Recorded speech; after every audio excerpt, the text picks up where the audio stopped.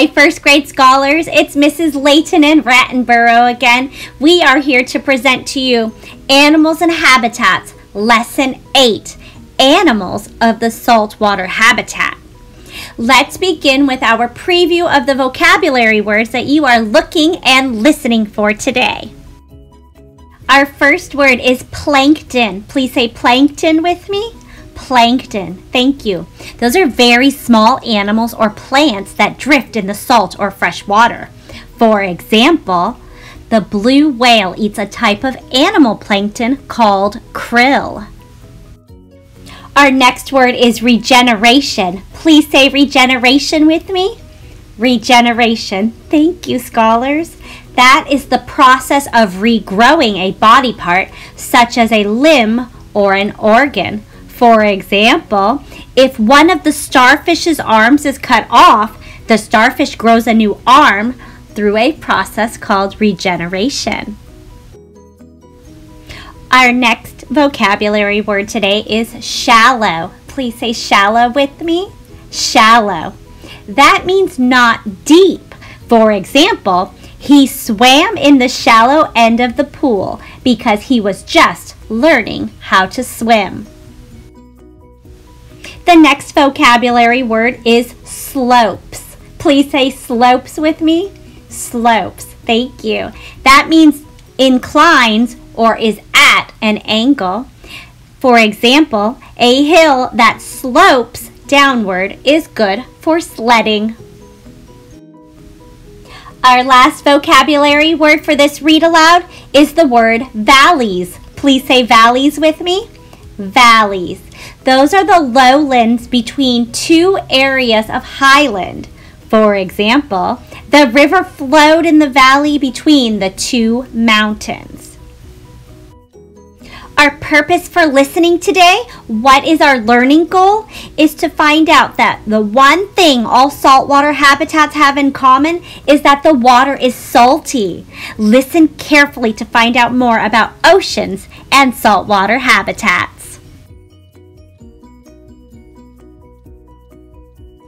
Welcome to the last habitat that we are going to explore. In the last read aloud, we explored freshwater habitats. Now we're going to learn about another kind of water habitat, a saltwater habitat. Saltwater habitats, as you can guess from their name, contain lots of salt. This means that we can't use salt water for drinking. Would you like to drink a cup of salty water? No, thanks.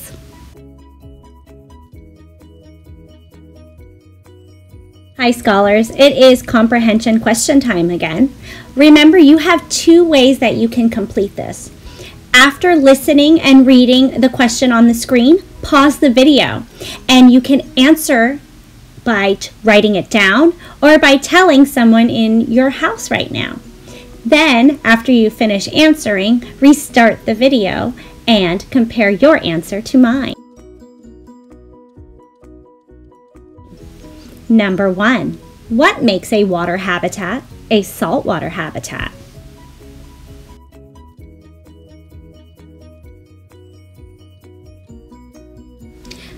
The water contains lots of salt. It's hard to imagine, but more of the earth is covered in water than is covered with land. Most of that water is salt water in oceans and seas. Oceans are huge areas of salt water that stretch all around our planet, and they are home to almost half of the world's species of animals and millions of different plants. The water in the ocean comes from rain as well as from rivers and streams that flow into the ocean. Seas are smaller areas of salt water that have land around them or around part of them.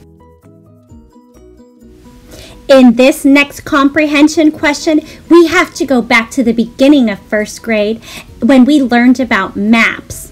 We learned about the seven continents and we also learned about the names of the oceans. Number two, name the five oceans on Earth. Are oceans freshwater or saltwater habitats?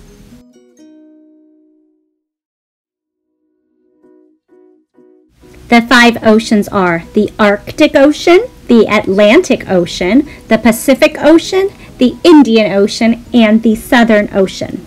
All oceans are saltwater habitats. I've come to the largest ocean, the Pacific, to show you a bit more about ocean habitats and the plants and animals that live in them. I'm standing on a beach looking out at the water. You can see that the waves are crashing onto the beach. This beach and any land that runs alongside the ocean is called the coastline or shoreline. Now, you may think that when you are standing on the land looking at the water, that the land stops where the water starts. It certainly looks that way. But let me get my trusty scuba gear out and walk into the water. Now that I'm here, I'm standing on land. It's just that the land is under the water. The land slopes downward the farther I go out into the water, which means that the water is getting deeper and deeper. The interesting thing about the ocean floor, which is the land under the ocean water, is that it isn't flat. As on land, the earth beneath the ocean waters has both mountains and valleys. Mountains are areas of land that are very high where the land peaks. Valleys are areas of the land that are low and that are in between two high areas, such as mountains. This makes some of the areas of the water in the ocean deeper than others. The Pacific Ocean is full of both plant and animal life but not all of them share the same space. The conditions under the water are very different in various places. Some parts are deep and some parts are shallow. There are cool parts and there are warm parts. Some are dark and some are full of light. Okay, scholars, let's get ready for our next comprehension question time. Number three, how would you describe the ocean floor? Is it flat and level, or does it go up and down?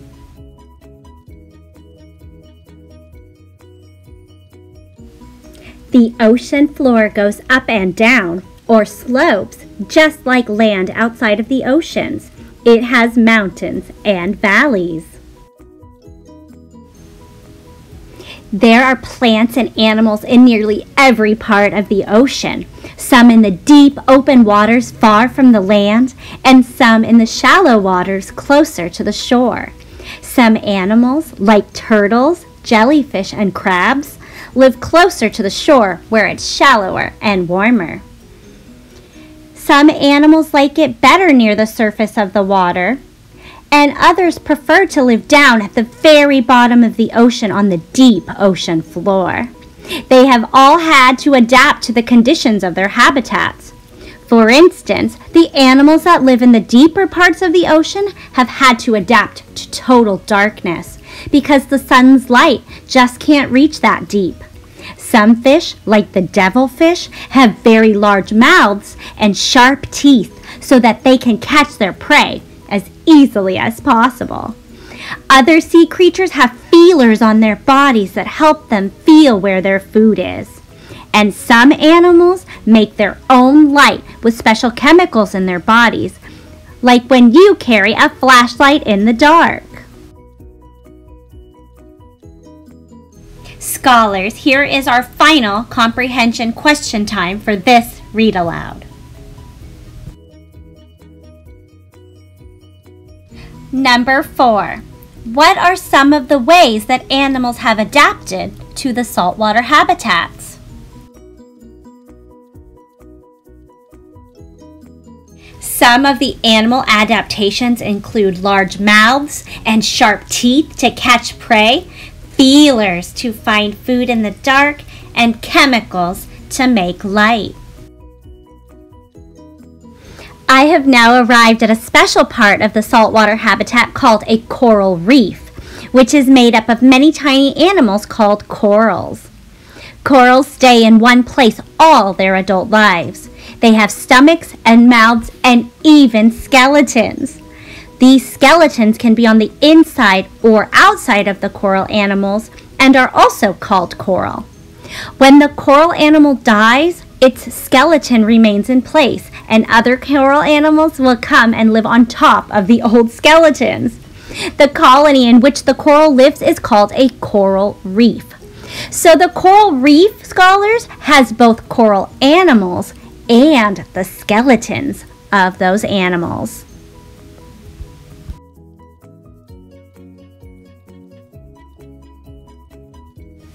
I'm here in the Pacific Ocean at a coral reef. In addition to the coral, there are many other kinds of animals that live around a reef. I have found everything from fish to shellfish to octopi and sharks to snails and turtles. Octopi is the plural version of the word octopus. When you're talking about one octopus, you say octopus. When you talk about more than one octopus, you say octopi. Scholars, as we continue this read aloud, Rattenborough and I are about to introduce you to some amazing animals in the saltwater habitat. Please feel free to pause the video after each animal and have a great discussion with your family.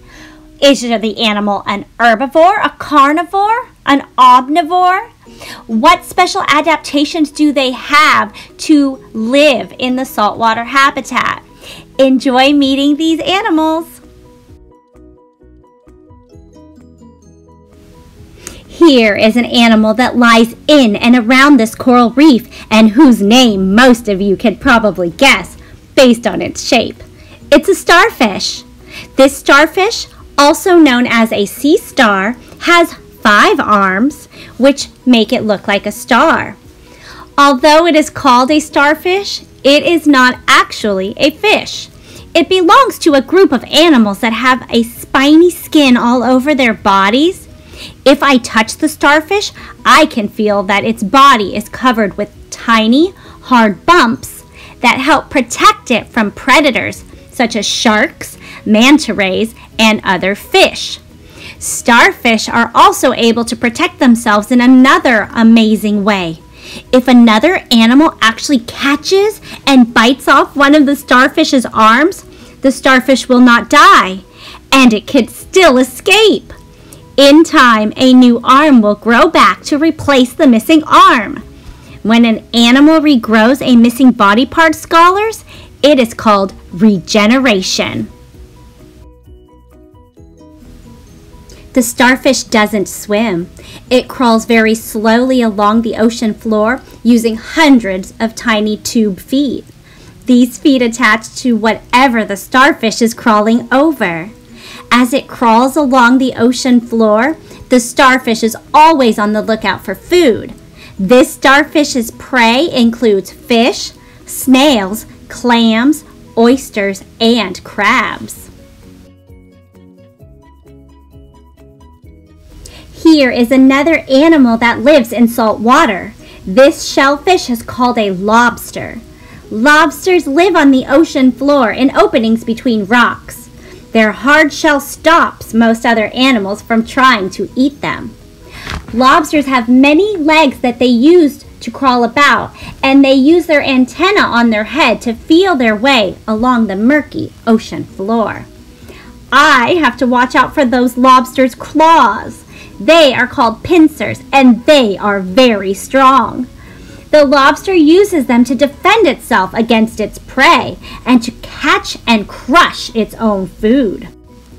Lobsters are carnivore scholars. They eat fish, worms, and other shellfish. I'm going to move out of the way of this lobster before I get squeezed.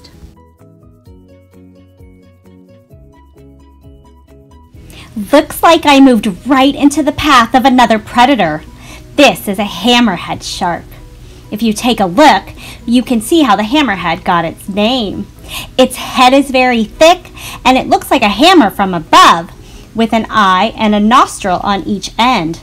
The hammerhead shark is a large fish, growing up to 20 feet long and weighing over 500 pounds.